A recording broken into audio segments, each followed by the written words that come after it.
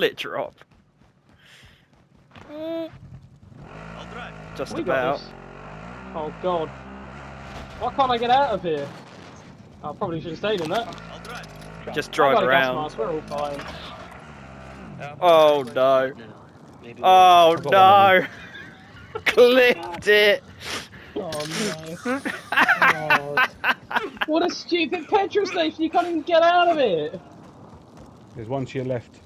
Oh, yeah, well, you know. Oh, that's the least of Sav's problems right there.